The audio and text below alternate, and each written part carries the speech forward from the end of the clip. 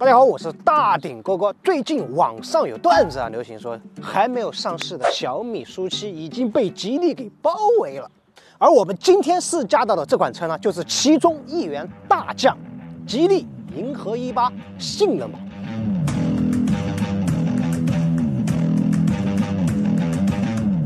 其实相比于普通版车型，我更感觉性能版要更能够 hold 得住这套前脸的设计，对吧？因为它的整个前脸设计呢是比较的凶悍的，线条也是比较锋利的，而且再配上磨砂灰的车漆的话，整个车的凶悍的程度又提升了一个 level。而侧面的话就比较符合吉利给这台车的定位，对吧？一个最美轿车的这样一个定位，因为它的线条是比较的笔直的，加上车长呢是超过了五米，看起来是比较修长的。当然，性能版不一样的地方在哪儿呢？就是它的轮毂是一个二十寸的刀锋式的轮毂，所以说看起来要更加的帅气、拉风了一点。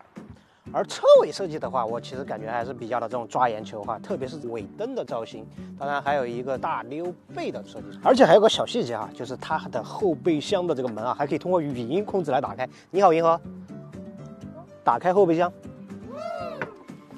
你看，特别是你买买东西对吧，很多购物的时候对吧，放进去就不用动手了，特别的这种方便。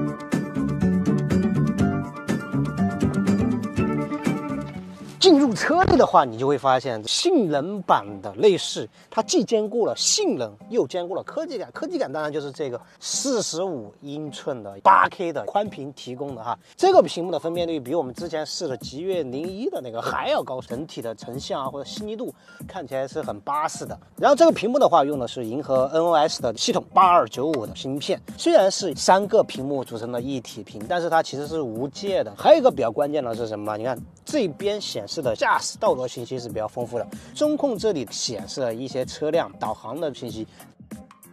副驾屏的话，又可以提供看电影呀、听音乐以及控制空调啊各种各样的功能，的确是比较方便。而且它也代表了吉利之后的类似走势的趋向。然后性能或者战斗感的体现，当然是这个半幅式的方向盘，而且是用了一个翻毛皮加皮质的双拼的材质。当然，其他翻毛皮的运用，门柱以及门板得到了很多的体现。然后在一些小细节的地方，你可以感受到这个吉利的人为关怀。为什么？你看这个，对吧？本来传统的这儿都是全覆盖的，它设计的是一个透明的，既可以遮阳又不遮挡视线，所以说是比较贴心的。还有一个贴心的是什么？你它有手机无线充电，也有 Type C，而且还有一个 USB 的插口，所以说即便你用的是不同的手机品牌，在这个车上都能得到充电的满足感，这个是没有问题的。然后啊，很多朋友反馈就是这个二千九百二十五毫米的轴距的后排空间没有想象的那么大。我们现在就来体验一下，究竟是不是这样的哈。首先，我们把座椅呢也调来和 B 柱是持平了，然后用拳来表示的话，三拳半，接近四拳的样子。下凹也是比较轻松的。你看，即便是这边副驾的座椅是往后面调了很多的哈，我们也来下凹一下，也是能够比较轻松的下凹下去了。所以说整个。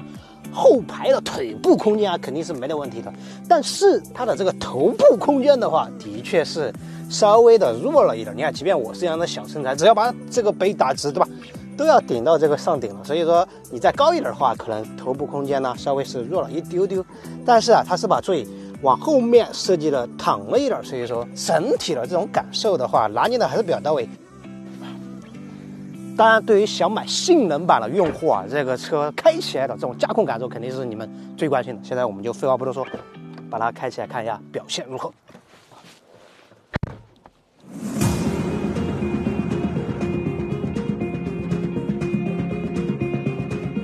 第一个就要回答大家关心的问题：半幅式的方向盘好不好用？在大多数的使用场景下没有什么太大问题，但是它唯一会出现一点打扰的地方，就是你在城市里面掉头，或者是在停车场倒车入库啊这种搬方向盘的时候呢，就的确还是有一丢丢的不方便。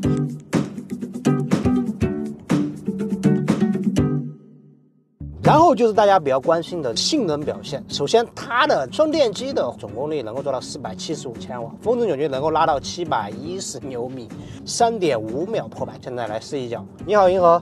主驾，请讲。切换到运动模式。好的。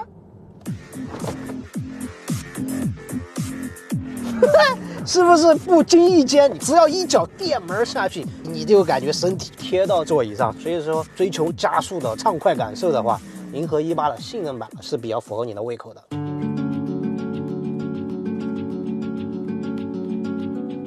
然后另外一个值得和大家分享的就是底盘质感。我更感觉现在买车买大厂的好处有什么呢？就是它可以用集团的实力来研发打造一台车，对吧？就比如说这台银河 E 八，它是基于吉利 SEA 纯电平台构架。打造的第一款新产物，所以说即便价格不算太贵，对吧？二十万出头，它也用上了很多吉利集团的新鲜的技术。所以说这个车开起来哈，前麦弗逊后多连杆悬挂的支撑下，再加上这种五十比五十的前后载荷的调节之下，是比较的顺畅丝滑的，是匹配上了性能版调节的。所以说你开起来的确是很战斗的。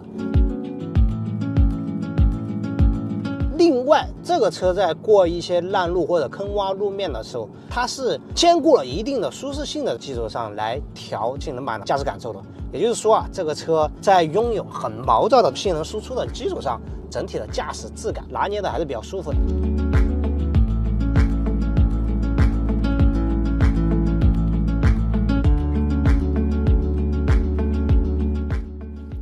然后啊，性能版车型啊，据说充电还特别的快。现在我们就来看一下它的充电速度究竟多少。